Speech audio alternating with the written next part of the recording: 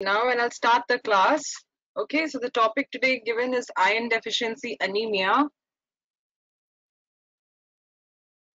So, so iron deficiency anemia. Just a second. Okay, so here today uh, we will just discuss um, on these topics. That is, we'll just uh, speak about the basic physiology of iron absorption its uh, transport and uh, storage.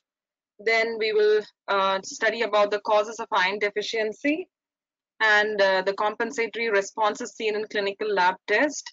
And um, finally, the modalities of treatment that we have for iron deficiency, for the treatment of iron deficiency anemia. Okay.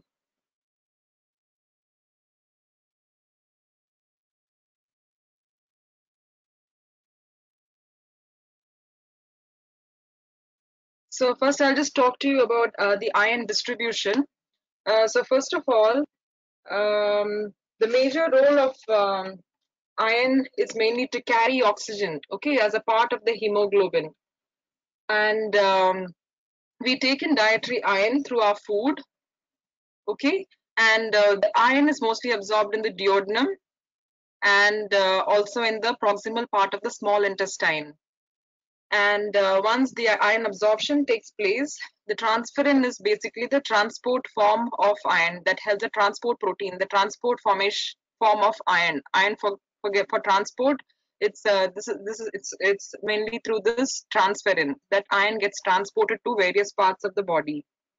So uh, the iron gets uh, is utilized mainly in the muscle and um,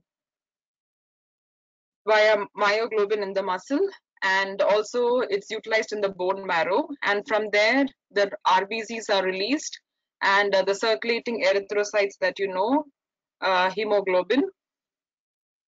Uh, and then from there uh, the iron like rbcs usually stay have like have a lifespan of 120 days and then ultimately uh, it is uh, destroyed through phagocytosis by the reticuloendothelial system, the RBCs.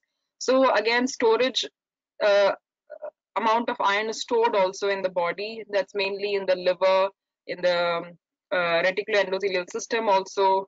RES cells also it is stored later on. Even after the RBCs rupture, uh, the iron but gets gets goes into the reticular endothelial cell. So a form a certain amount of iron is stored in the body. It is also transported in the body, okay, and it is also utilized, okay.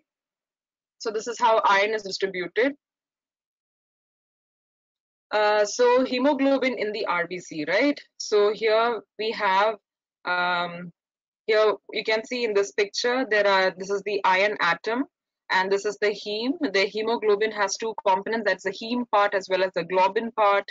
The globin part is mainly the proteins, right? So globin is a protein and here we have the heme. Uh, heme is mainly a porphyrin ring containing the iron atom here. So this is the heme and it contains the iron atom. And you have the globin chains, the hemoglobin, the globin chains here, the beta globins and the alpha globins. So each hemoglobin molecule, it can bind four oxygen molecules. Okay, each hemoglobin molecule can bind four oxygen molecules at the heme site. Okay, so four oxygen molecules are bound at the heme site. So iron is present in the heme portion of the hemoglobin. So main role of iron is to carry oxygen as a part of hemoglobin. Now coming to the iron absorption. So like I told iron absorption in the previous picture, mainly iron is absorbed in the duodenum as well as in the uh, proximal part or the brush border of the upper small in intestine. Okay, and the absorption also is enhanced by the gastric acid. Uh, iron absorption can be hindered by tannins. Tannins are mainly uh, tea, tea or beverages. Okay, these all contain tannins. Phytates are mainly your bran or cereals, grains. All this can interfere with the iron absorption in our body. And if there's any systemic inflammation going on in the body, that also affects iron absorption. The importance is how much of iron is absorbed in the by the body.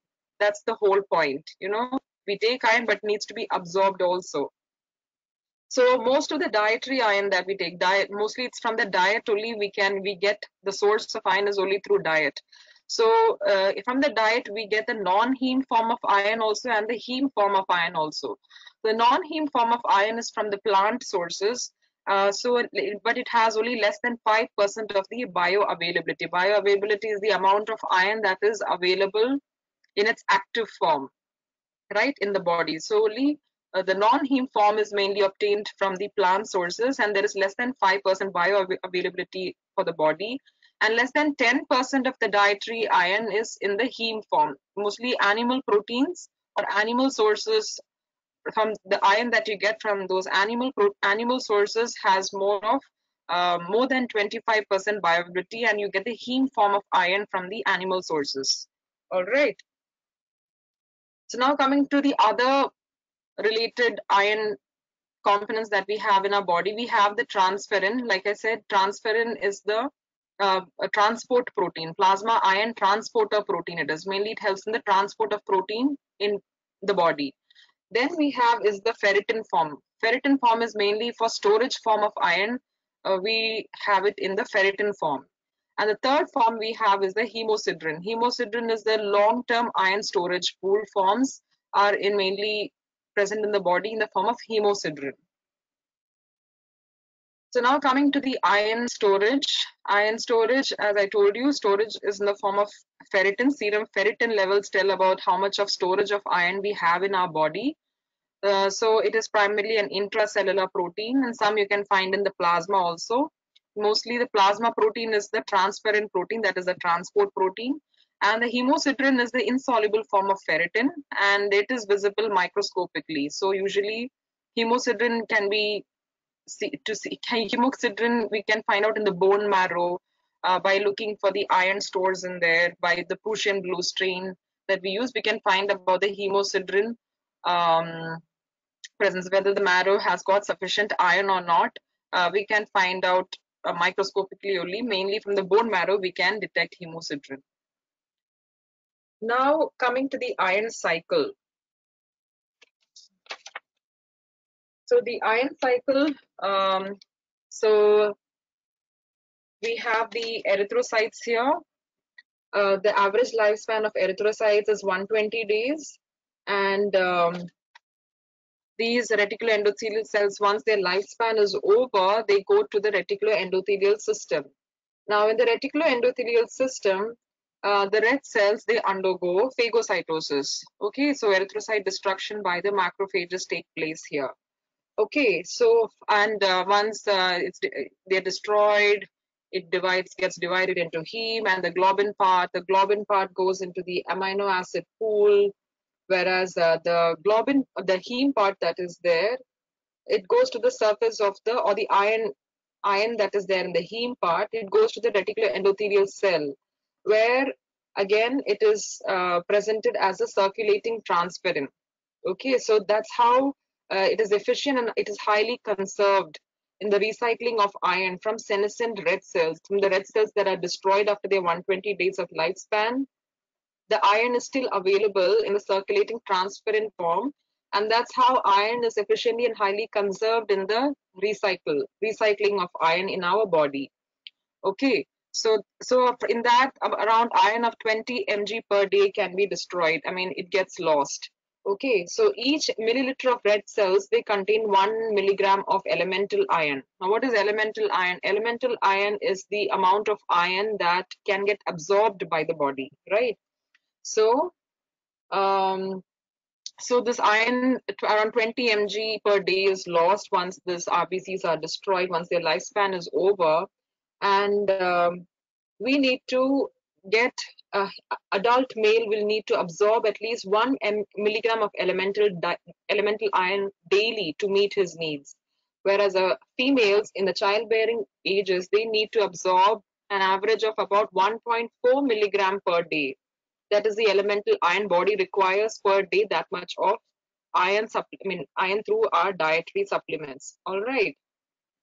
So we need iron in around 1 to 2 milligram per day. For females, 1.4 and for an adult male, 1 milligram per day is required, is needed.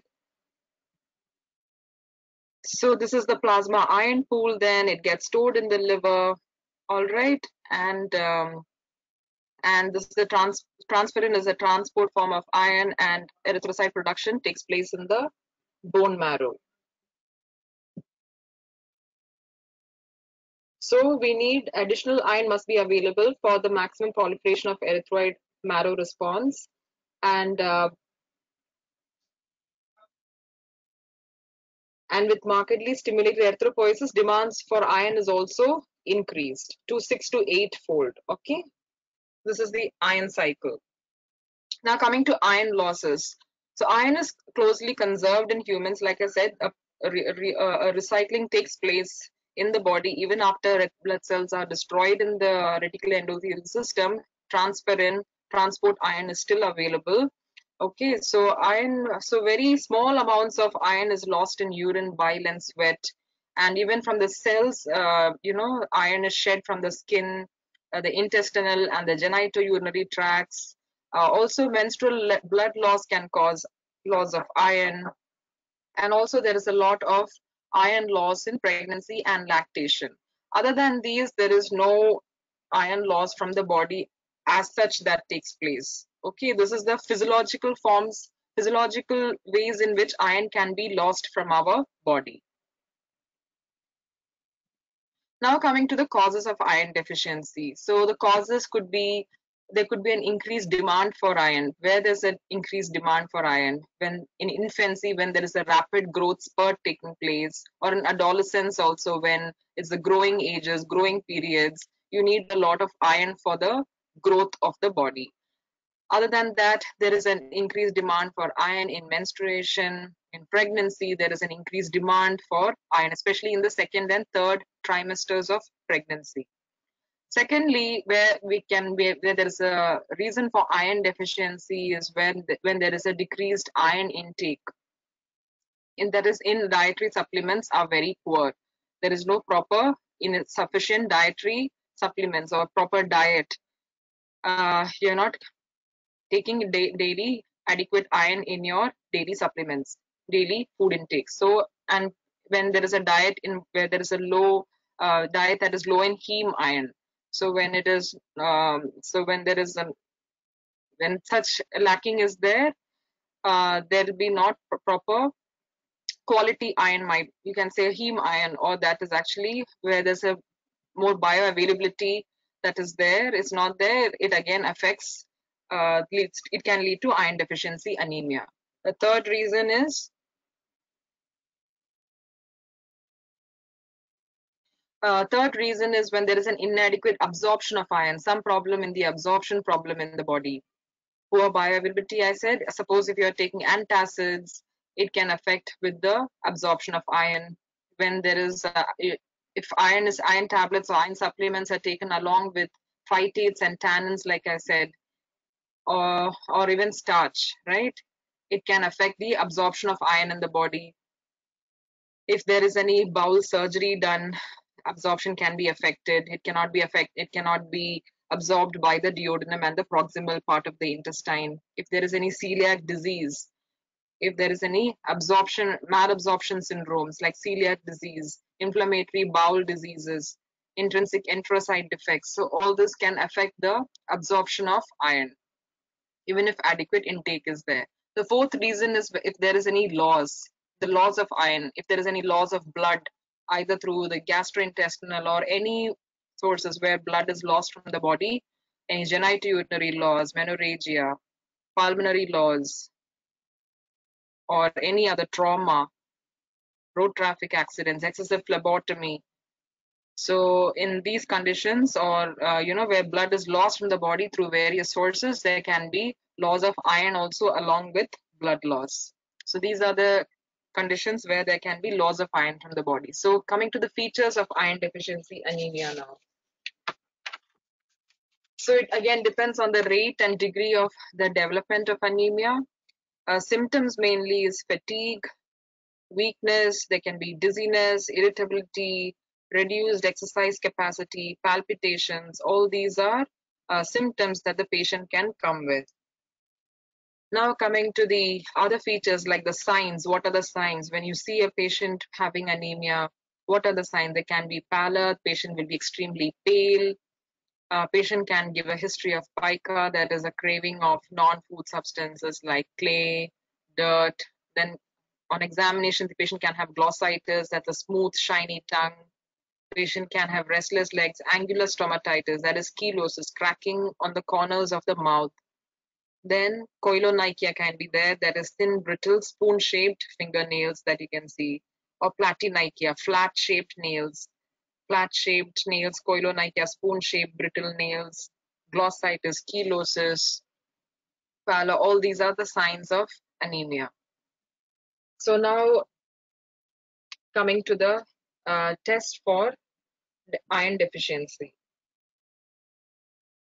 So what test will you do? So we can definitely look at the peripheral blood smear. What will a peripheral blood smear in an iron deficiency patient look like? Now they'll be having marked hypochromasia and microcytic hypochromic anemia. The red, red blood cells, their size is smaller. They can have hypochromasia, a lot of pallor inside the uh, RBCs. That's said uh, described as hypochromasia. So microcytic hypochromic anemia will be there in the peripheral blood smear. Uh, the red blood cell indices, the mean corpuscular volume, uh, the MCV and MCH will be reduced. Serum ferritin levels, the storage forms, the ferritin levels, the storage form of iron will be reduced. We can check the serum iron level. Serum iron also will be reduced in the blood. The transferrin, um, serum iron by transferrin is the iron saturation. The transferrin uh, levels or the TIBC, usually it's known as the total iron binding capacity is only the actually it's the measure total iron binding capacity is the TIBC is the measure of the circulating transferrin. That's the transport form of iron so that will be uh, reduced. Uh, uh, in iron deficiency anemia the, the TIBC or the transferrin value will be actually increased. It will be increased okay? Then bone marrow iron stain that's the Prussian blue stain which I spoke about so uh, these are a few tests that you can run uh, for finding out for iron deficiency anemia. So initially sequential changes that is there in iron deficiency anemia. First, what happens is that patient will not come with an overt anemia. It is a long going, ongoing process. So initially the ferritin levels will start to deplete. Okay, that time the iron saturation and HB hemoglobin all will be normal. That's when the storage starts depleting. So initially you'll find a uh, a depletion or a decrease in the ferritin levels and then in iron deficiency uh, the iron saturation it starts to fall and then in full-fledged iron deficiency anemia there will be uh, ferritin will be low the TIBC will be um, will be high that's the transport protein but iron saturation will be low and the MCV or hemoglobin will be full-fledged it will be low. It will start depicting only towards the full-fledged state that uh, the hemoglobin will start to drop. Initially, first the storage form starts to drop. So how will a CBC or a complete blood count look like in an iron deficiency anemia? So the complete blood count, you'll look for the hemoglobin, patient will be having anemia, it will be low, hematocrit that is there, uh, that is the amount of volume in compared to the total body volume blood uh, RBC mass. Uh, the hematocrit will be low, the MCV, MCH will be low, and the red cell distribution width will be high. The other lab values you can check for is definitely the iron profile that we call it. That is the serum iron, ferritin, and TIBC together. We uh, talk about it as the iron profile. Okay, so serum iron levels will be low, the ferritin levels will be low and TIBC is high and transferrin saturation will be low.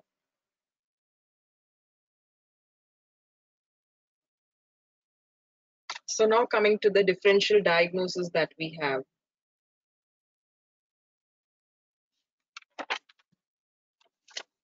So when coming to the differential diagnosis, first we have we have the three main differential diagnoses for iron deficiency anemia is thalassemia trait thalassemias are basically there is an imbalance in the globin chain production So in thalassemia, there will be a low MCV, just like iron deficiency anemia, but they will have a normal red cell distribution width.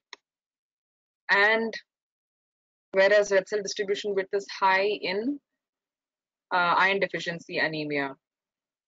Coming to the transferrin saturations, it can be normal or it can be increased iron levels.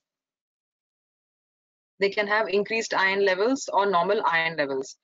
Second differential diagnosis is anemia of inflammation or also called as anemia of chronic disease.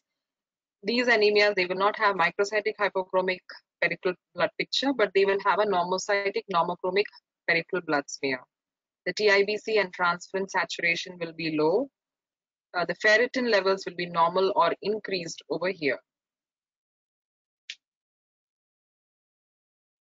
And the third differential diagnosis is myelodysplastic syndrome. Here also the ferritin levels will be normal, but they can have a microcytic hypochromic picture in the peripheral smear. So these are the three differential diagnoses uh, and how you differentiate between the between them and iron deficiency anemia. This is just a picture of the iron stain of bone marrow. Here you can see uh, the Prussian blue stain.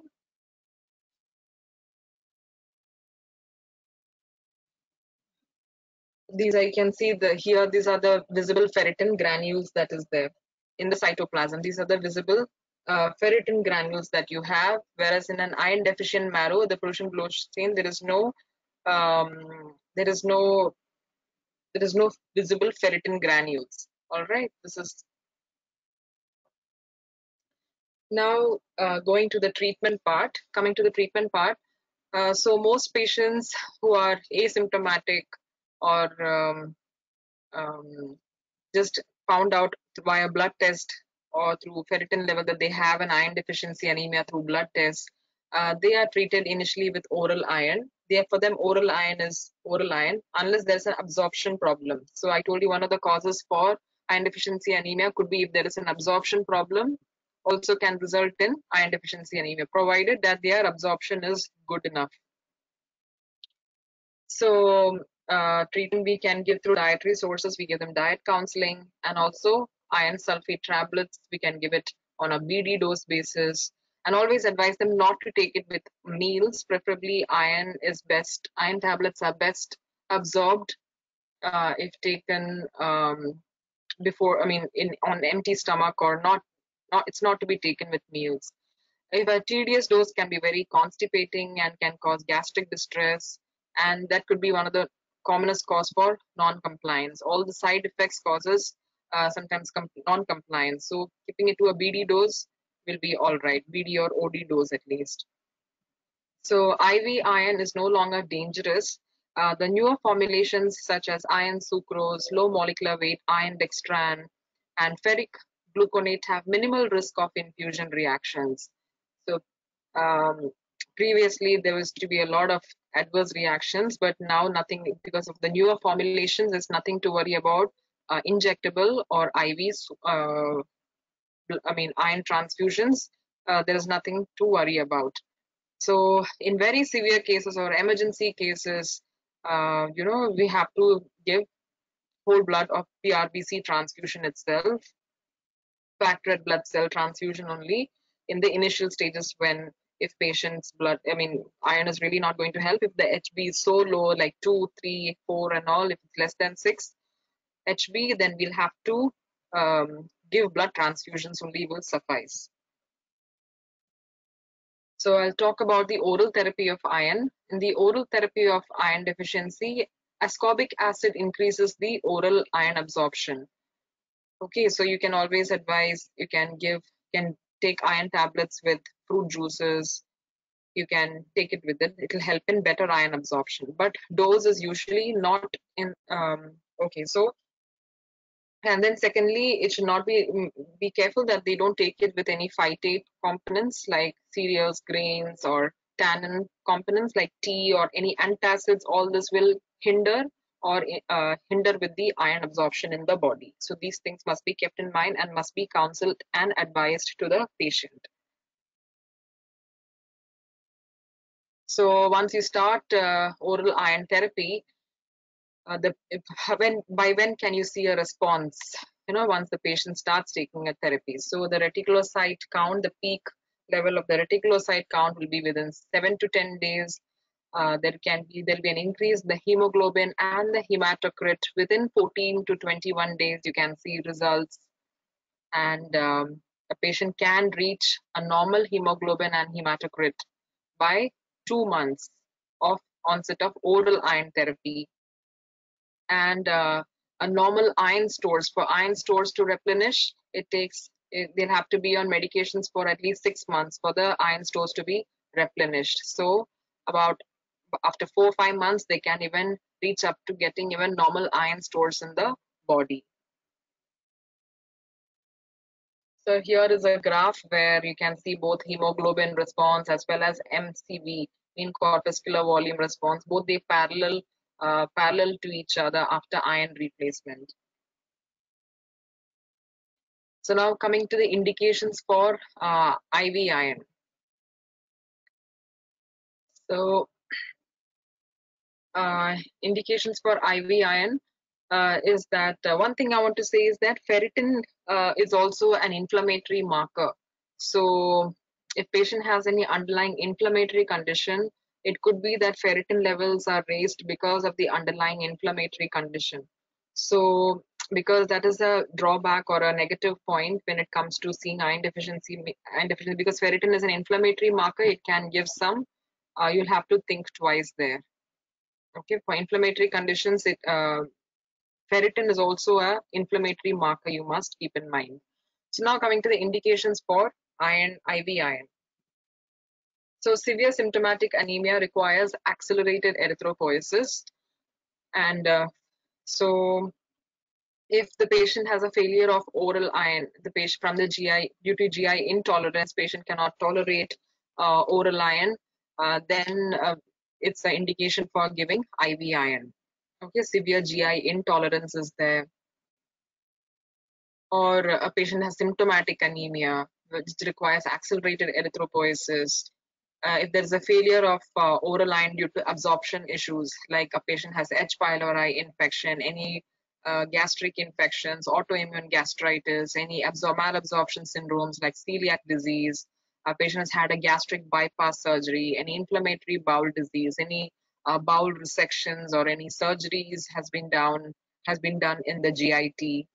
Uh, if a patient is a cancer or patient is having any chemotherapy associated anemia, a patient has an anemia of chronic renal disease, uh, like CKD patients, uh, with or without dialysis, uh, patient is having any heavy ongoing GI or menstrual blood losses. So all these, in such conditions, a patient can be given an option for IV iron therapy.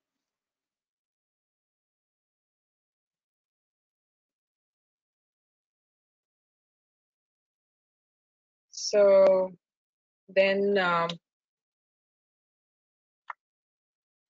and also i would like to um, mention um, um, okay. Just one point i want to mention in the oral iron therapy. Usually the tablet forms that come is usually 200 mg ferrous sulfate. Okay so all that will have around 50 mg of elemental iron that is the amount of iron that can that will be absorbed by the body Okay, so just one point I want to mention on that.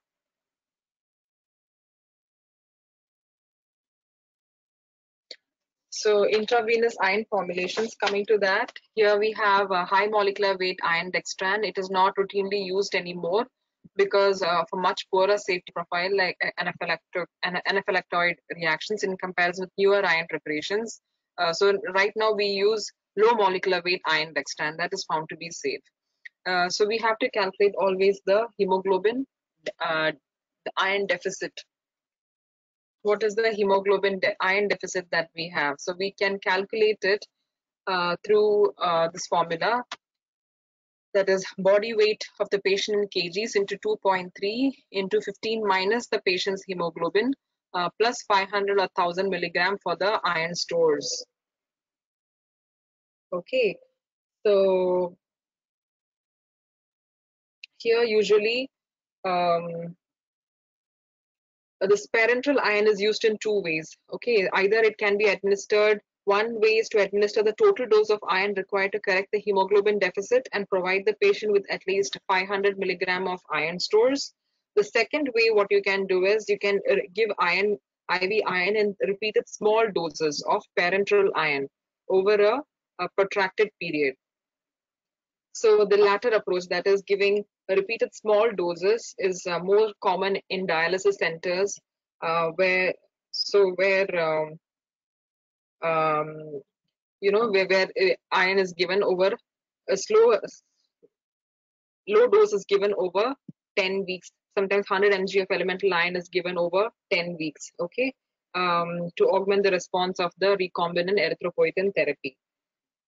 So this is the uh, this is how you calculate the uh, the iron needed by an individual is calculated by the following formula where you calculate the iron deficit for that person through this formula. That is body weight into 2.3 into 15 minus the patient's hemoglobin plus the 500 or 1000 mg for the stores. So here is just a, a table where you can see uh, the different forms of uh, IV iron that is available you have the low molecular weight iron dextran, the iron sucrose formulation. We have the ferric gluconate formulation, the ferumoxytol, and the ferrox, ferric carboxymaltose formulation. So here, certain drugs are expensive. These are like not expensive. Uh, where are the indications you can where where all you can give it in iron deficiency anemia purely or in CKD patients, chronic kidney disease patients, which all preparations you can give uh, low molecular iron dextran may need a test dose, but the others really don't require a test dose. It's found to be, it's, or it's proven to be, the newer formulations are proven to have very, uh, they don't really have any uh, side effects at all or any adverse or anaphylactoid reactions. So, um, coming to the conclusion, uh, so iron deficiency anemia is highly prevalent, especially in India, where we need to really think about our think uh, consciously think about our diet uh, and consciously take an iron rich food. Uh, but it's an easily treatable condition. Oral iron therapies are most effective mostly equivalent in efficacy. Even oral iron therapies are good good enough if there is a proper tolerance and absorption is good is good. And the way to take it also must be kept in mind so that the absorption is not hindered and infusion reactions are very low in iron IV iron products other than high molecular weight dextran. And the cause and indications for therapy are also important to help decide the best IV iron re replacement for a replacement product for a patient. So I think I just covered the essentials for this topic of iron deficiency anemia. If any doubts, do let me know.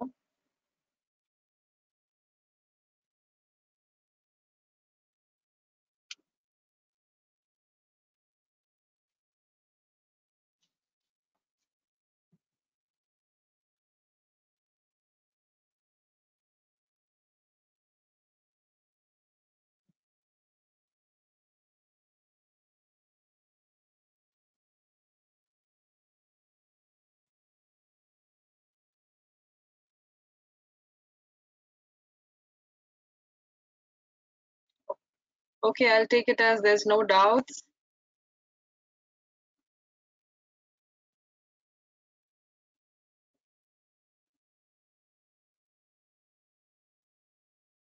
Okay, then thank you.